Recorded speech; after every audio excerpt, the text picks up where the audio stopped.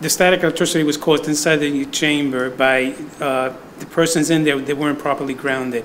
Uh, They had static built up in them, and obviously that static was discharged onto something inside the chamber that was metal.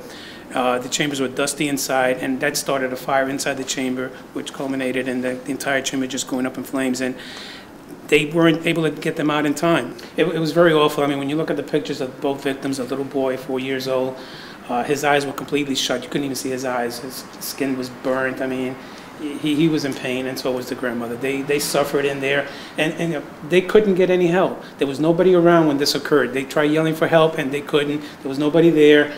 I mean, you're locked up in this little mini submarine, and, and nobody around. And here you are, you're going in flames, and she's trying to protect them because she sees the flames, and, and she can't do anything about it, and there's nobody around to help.